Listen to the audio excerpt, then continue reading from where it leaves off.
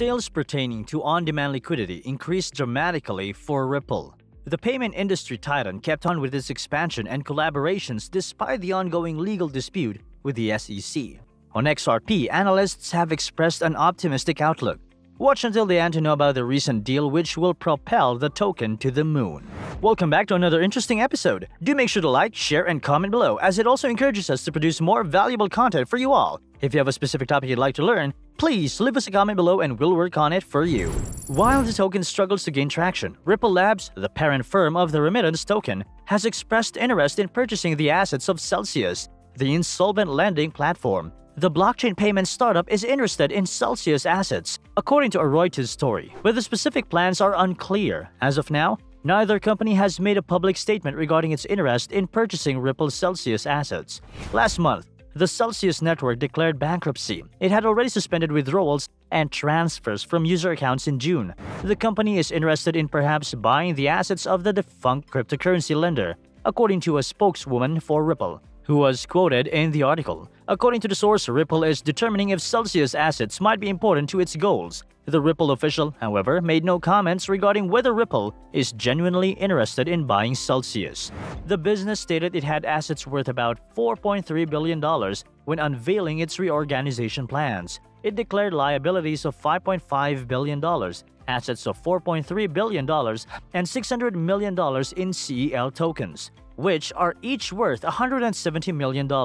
The purchase of Celsius assets by Ripple could benefit small scale investors by providing them with financial relief. In order to meet its financial needs, Celsius has previously stated that it was thinking about selling assets. It added that in order to pay debts, the company would also investigate asset sales and third party investment alternatives. It stated at the time that the main goal was to increase stakeholder returns. The U.S. Department of Financial Protection and Innovation was recently made aware of the cryptocurrency lender. The government claimed in a ruling that Celsius CEO Alex Mashinsky made substantial misinterpretations and omissions in the selling of cryptocurrency interest accounts. It went on to say that it was particularly good at downplaying the dangers of storing digital assets with Celsius.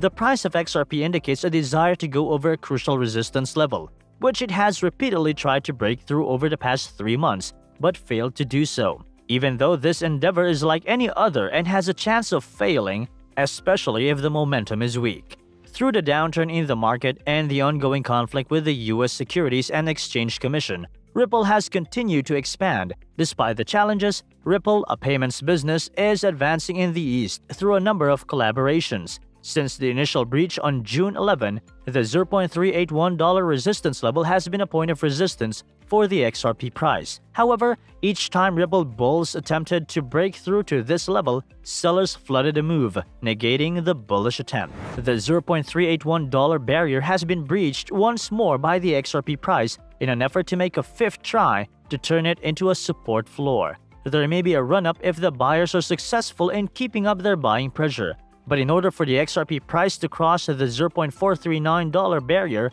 after a 15% increase, bulls must continue to be in control as they must first navigate months of stabilization. Thus, even after a brief flip of the $0.381 resistance level, potential buyers of Ripple should proceed with caution. Even though the price of XRP is trending upward, the first indication of buying weakness will be a daily candlestick closure below $0.381. A break of this level would undermine the bullish argument and cause a move to $0.340 in the event of rejection here. Investors should anticipate XRP price reaching the $0.287 to $0.311 demand zone in such a scenario, which is likely to be a crucial zone in kicking off the subsequent leg higher. The blockchain industry is aiming to build new offices in foreign countries in order to broaden its prospectus and area of operations. Ripple, or XRP, officially announced back in June that it had launched its first office in Canada. This relocation followed the company's plans to relocate to other cities in order to better reach its people throughout the world and provide the greatest amenities for them. According to Brad Garlinghouse, co founder and CEO of the Ripple Network, the company's new headquarters in Toronto will serve as a crucial engineering hub. The majority of Canadians, according to the CEO of Ripple, have a ton of skill. Garlinghouse also stated in his views that many skilled engineers are switching from traditional banking to the cryptocurrency industry due to the benefits and opportunities in the space. When Ripple announced that it was opening an office in the area, Toronto City Mayor John Tory praised the company's cutting edge technology and claimed that the two would be a natural match. Additionally, Ripple established offices in Dubai and Miami last year.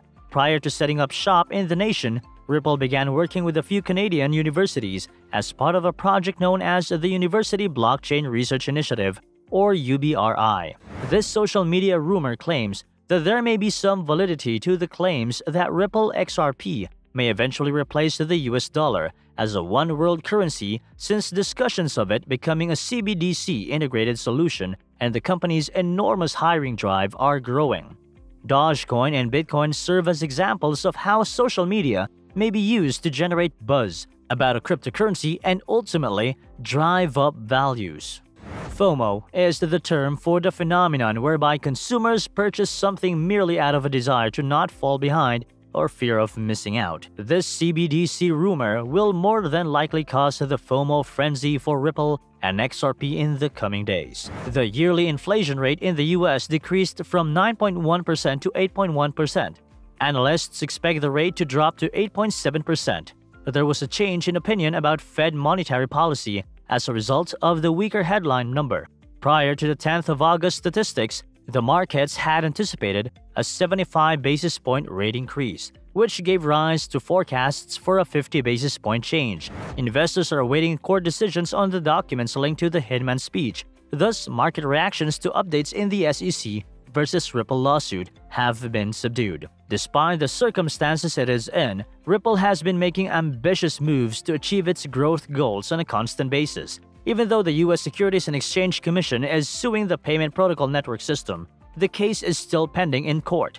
The judgment has been anticipated for a while, and chances are good that Ripple will defeat the regulator. Since certain motions were recently filed over the previous few days, both number 1 Ripple and the SEC have submitted motions to the judge asking for the testimony of their expert witnesses to be excluded. According to James Filan on Twitter, everything related to expert witness testimony is currently under seal. In essence, no one will be able to see it until the judge rules on it. The words of these witnesses won't be available to us for a while, in an effort to keep these Hinman emails hidden for the 12th time.